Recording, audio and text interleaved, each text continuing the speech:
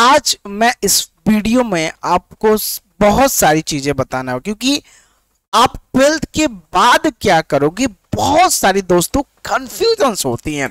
आपको रियलिटी में आज पता चलेगा, ट्वेल्थ के बाद बीएससी करना है बीटेक करना है, या कुछ और करना है। मतलब ये जो सैलरी है पचास से साठ हज़ार रुपए, कैसे आप कमा सकते हो? क्या करोगे ऐसा कि आप पचास से साठ हज़ार रुपए कमा सको। एकदम हुबहू प्रैक्टिकल चीज़ें बताऊँगा जो तुमको किसी ने नहीं बताया, क्योंकि मैंने भी सरकारी नौकरी पाई है, इसलिए मैं कह रहा हूँ। तो देखो बच्चों, अभी ट्वेल्थ आप पास आउट किए हो तो आपके दिमाग में बहुत सारे ऑप्शंस खुले होंगे, क्योंकि आपकी एनर्जी लेवल बहुत ज़्यादा है। तो आप सोच रहे होगे कि यार ट्वेल्थ करें मतलब ट्वेल्थ तो कर लिया, अब बी एस सी करें कि बी ए कर लें। कभी कोई मन कर रहा होगा पॉलिटेक्निक बीटेक कर लें क्या? पॉलिटेक्निक कर लें बीटेक कर लें। कभी कोई मन कर रहा होगा, आप मेडिकल लाइन में चल जाएँ क्या? कभी कभी ये मन कर रहा होगा कि बीए का फॉर्म डाल देते हैं पेपर देते रहेंगे और चल रहे हैं कहीं बढ़िया जगह से, तैयारी करेंगे। एकदम सच बोलना हो तो बताना, क्योंकि सबको बहुत जल्दी है पचास साठ हज़ार रुपये कमाने, क्योंकि सभी बच्चे मैक्सिमम बच्चे गरीब फैमिली से आते हैं मिडिल फैमिली से आते हैं तो वो चाहते हैं हम कमा के जल्दी से अपने माता पिता का सपोर्ट करें, ताकि हमारे घर वालों को मैं एक अच्छी लाइफ दे पाऊँ। तो ये बाबू देखो, बहुत अच्छी सोच है तुम्हारी। इसके लिए मैं एक बार तुमको खुद थैंक यू बोलता हूँ कि अपने परिवार के बारे में अगर ऐसा सोच रहे हो तो यार बहुत अच्छा काम कर रहे हो बाबू। बहुत अच्छा दिल से कह रहा हूँ, क्योंकि मुझे भी अच्छा लगता है अपने परिवार को ऐसे करने के लिए, अपने परिवार के लिए मेहनत करना। देखो बीएससी या बीटेक या कुछ हो?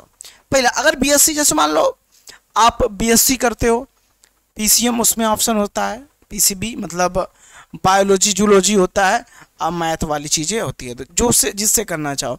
अगर ऐसे करते हो तो उसके बाद एमएससी भी कर सकते हो। नेट जीआरएफ वगैरह क्वालिफाई करके, आप पीएचडी वीएचडी करके पाँच साल पीएचडी कर लोगे तो डॉक्टर लिख सकते हो प्रोफेसर बन सकते हो, ठीक है? अब पाँच साल तुम्हें नेट क्वालिफाई करने के बाद पाँच साल तक तुम्हें पैंतीस हज़ार, चालीस हज़ार रुपये महीना मिलता रहेगा। और आगे चल के अच्छे प्रोफेसर की पोस्ट पे जा सकते हो। तो ये तो थोड़ा लंबा प्रोसीजर है कि थोड़ा टाइम लगेगा आपको कमाने में। लेकिन जब जो नौकरी मिलेगी वो आरामदायक मिलेगी, आराम की नौकरी मिलेगी। बीएससी करने के बाद। आप चाहो तो सीडीएस कर सकते जो ऑफिसर रैंक जो चाहते हैं बच्चे, जिनका सपना है ऑफिसर रैंक पे जाना, वो सीडीएस भी कर सकते हैं। जिनका सपना क्या है? ऑफिसर रैंक ऑफिसर बनना। तो क्या कर सकते हैं? बच्चों, वह सीडीएस भी कर सकते हैं। और एनडीए की अगर ट्वेल्थ में आपकी पढ़ाई छूट गई, किसी वजह से आप नहीं क्वालिफाई कर पाए तो बीएससी में एडमिशन कराने के बाद इस एनडीए की पढ़ाई को आप कंटिन्यू यहीं से कर सकते हो। तो ये तो रहा आपकी बीएससी के बारे में जानकारी। दूसरा, अगर आप चाहो तो बीटेक कर सकते हो। लेकिन मैं चाह कहूँगा बीटेक आप जे डबल ई से ही करो क्वालिफाई करके। तो ज़्यादा अच्छा है। बहुत सारे बच्चों नीट में चले जाते हैं बीटेक छोड़ दीजिए। डॉक्टर लाइन में तो ये मैं कहूँगा, क्योंकि नीट से करोगे तो कम पैसे में हो जाएगा डॉक्टर बनोगे, और अगर प्राइवेट करने चले हो तो बहुत ज़्यादा टाइम लगता है। ठीक है, इस चीज़ का ध्यान रखिए।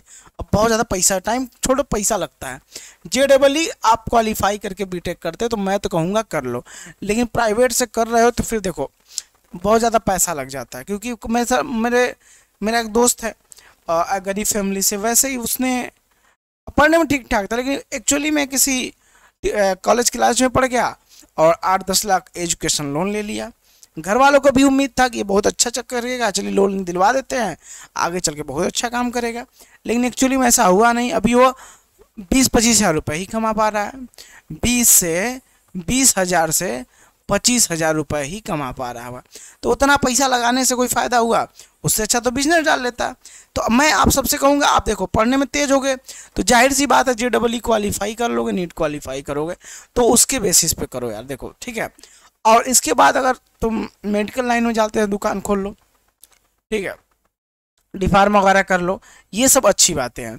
तो बहुत सोच और समझ के डिसीज़न लेना, क्योंकि यही डिसीज़न तुम्हारे दोस्त, अब यहाँ पे दोस्त बटते हैं, कोई कुछ डिसीज़न लेगा, कोई कुछ लेगा, किसी के पास पैसा होगा तो जाकर तैयारी करेगा, किसी के पास गरीब होगा कोई तो वह भैया नॉर्मल वाला सिलेक्ट करेगा। यहीं से दोस्ती बढ़ती जाती है। तब दोस्त दोस्त नहीं रहता है, समझ जाओ। आठवीं तक, बारहवीं तक ठीक है, चलो। इसके बाद नहीं निभाई जा सकती है। वही पाँच छः साल बाद कोई दोस्त अच्छे रैंक पे मिलेगा, कोई दोस्त घूमता फिरेगा। घूमता हुआ मिलेगा। तो इस चीज़ का ज़रूर ध्यान रखिएगा कि बाबू करना क्या है तुमको, क्योंकि दिल की गहराई से मैं बता रहा हूँ। क्योंकि ये पचास साठ हज़ार कमाने के लिए पचास साठ हज़ार तरीके के पापड़ बेलने पड़ते हैं और कितनी चप्पलें घिस जाती है। अगर मैं सही करा तो लाइक करिएगा और चैनल को सब्सक्राइब कर लीजिएगा। अच्छे वीडियो लाते रहता हूँ। तो यार, चाहो तुम पॉलिटेक्निक कर लो, अगर करना चाहते हो तो पॉलिटेक्निक कर सकते हो बीटेक करो बीएससी करो बीए कर लो, लेकिन अपना टारगेट क्लियर रखो, मुझे करना क्या है? मुझे बनना क्या है?